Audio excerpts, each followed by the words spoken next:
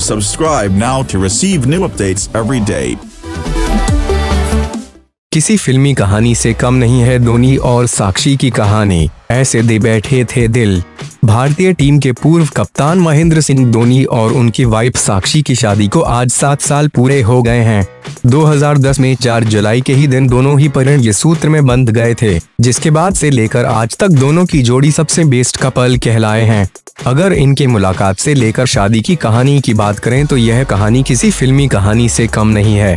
महेंद्र सिंह धोनी और साक्षी की love story काफ़ी मज़ेदार है। इनकी मुलाकात को लगता के फाइव स्टार होटल ताज में हुई थी, जब धोनी भारत और पाकिस्तान के बीच टेस्ट मैच खेलने पहुँचे थे, तभी साक्षी रावत उसी होटल में इंटर्नशिप कर रही थी। फिर क्या पहली मुलाकात में ही धोनी को साक्षी पसंद आ गई थी? दोनों ने एक दूसरे के फ़ोन नंबर लिए और बातचीत का सिलसिला शुरू हो गया।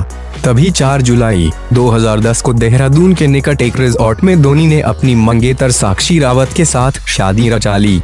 आपको बता दें कि इस शादी में स्पिनर हरभजन सिंह, आशीष नेहरा, रुद्र प्रताप सिंह, सुरेश रैना और रोहित शर्मा के अलावा बीसीसीआई के पूर्व अध्यक्ष शशांक मनोहर और बीसीसीआई के तत्कालीन अध्यक्ष श्रीनिवासन ने भी शिरकत किया था। Thank for watching. Subscribe now to receive new updates every day. And don't forget to drop a like, leave a comment.